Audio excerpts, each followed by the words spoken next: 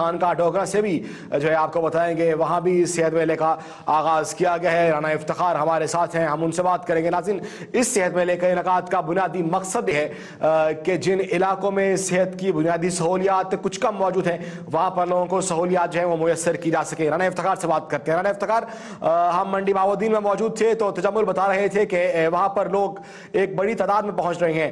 خان کا ڈوگرا میں آپ موجود ہیں، وہاں سے کیا تفصیلات ہیں آپ کے پاس؟ تئی مرکز صحت میں موجود ہوں۔ جہاں پہ صحت میلے کا انعقاد کیا گیا۔ میرے ساتھ اس وقت اسسٹنٹ کمشنر جناب ملک مشتاق عالم ٹوانا صاحب موجود ہیں۔ آئیے ہم ان سے آئی کے پروگرام کے حوالے سے بات کرتے ہیں۔ جی ملک صاحب، آئی کے پروگرام کے حوالے سے بتائیے گا۔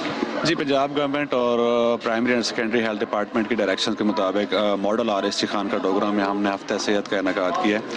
اس صحت میلے کا مقصد عوام کو مختلف بیماریوں کے تشخیص اور علاج کی مفت سہولت مہیا کرنا ہے۔